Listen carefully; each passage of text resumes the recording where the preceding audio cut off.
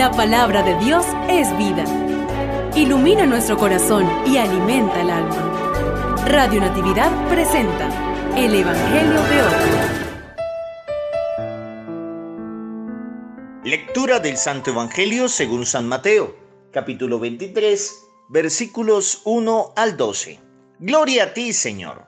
Jesús dijo a la multitud y a sus discípulos, los escribas y fariseos ocupan la cátedra de Moisés. Ustedes hagan y cumplan todo lo que ellos les digan, pero no se guíen por sus obras, porque no hacen lo que dicen. Atan pesadas cargas y las ponen sobre los hombros de los demás, mientras que ellos no quieren moverlas ni siquiera con el dedo.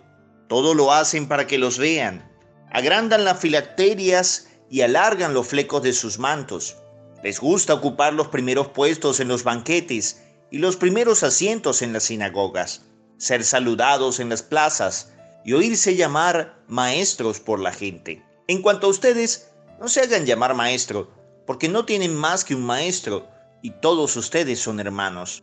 A nadie en el mundo llamen Padre, porque no tienen sino uno, el Padre Celestial.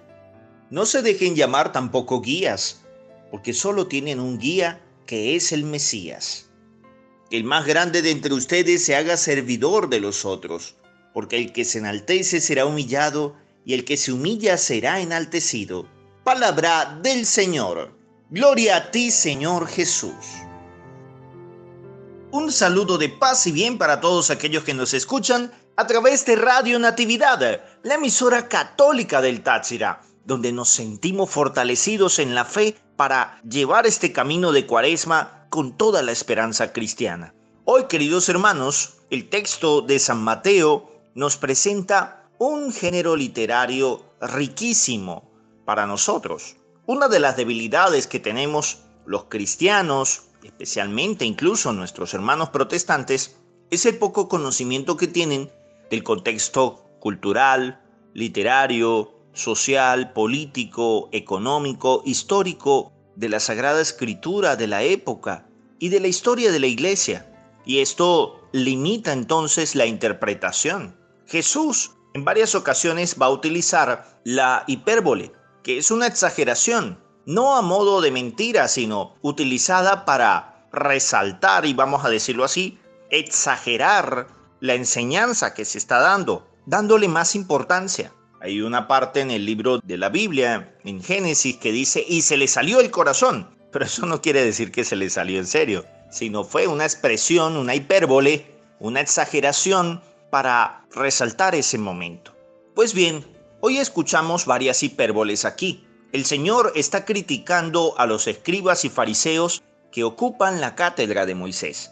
La cátedra era una silla, y ellos se sentaban ahí, pero se sentaban no para enseñar lo que vivían, sino para enseñar sus ideas. En otras palabras, no vivían lo que predicaban. Y por eso Jesús reclama que atan cargas pesadas y las ponen sobre los hombros de los demás, pero ellos no quieren moverlas ni siquiera con un dedo. Y pone en tela de juicio esas actitudes poco equilibradas, de poca sindéresis, de poca coherencia. Ejemplo, les gustaba que les llamaran maestros, pero realmente no eran maestros porque un maestro es el que enseña con su vida, no solo conocimientos. Guías, pero ellos no estaban guiando a nadie, ni siquiera se guiaban a sí mismos. Padres, pero ellos no estaban asumiendo la paternidad. En este sentido hay mucha polémica entre nuestros hermanos protestantes, los cuales dicen no llamen padres a los sacerdotes. Pero padre tiene varios significados en la Sagrada Escritura, en sentido biológico, en sentido de cuidado, el que cuida a otro sin ser de la misma sangre, y en sentido espiritual.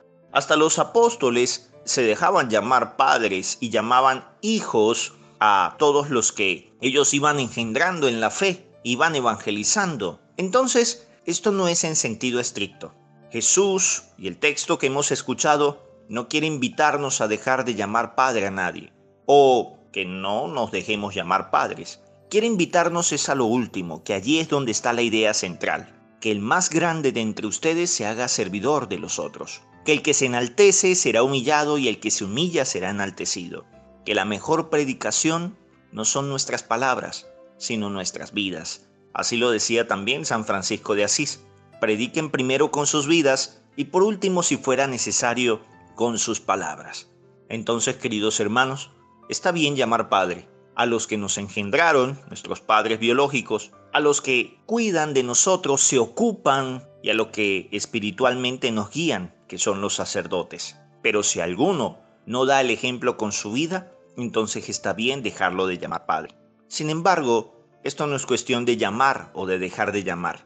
Esto es cuestión de que tú y yo demos testimonio de vida, que es lo más importante, y dejemos a un lado la fanfarronería de que los demás nos enaltezcan y nos vean. No olvides las etiquetas, los sacerdotes buenos somos más, y yo tengo un amigo sacerdote. Dios te bendiga. Gloria al Padre y al Hijo y al Espíritu Santo, como era en el principio, ahora y siempre, por los siglos de los siglos. Amén.